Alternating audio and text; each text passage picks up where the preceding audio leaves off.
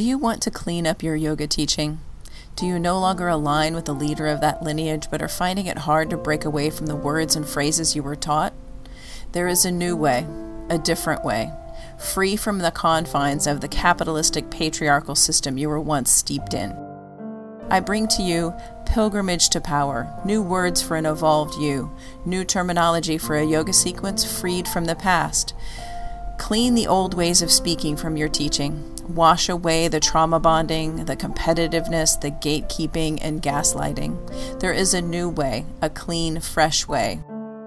No gods, no gurus, just you and your yoga mat. Begin again.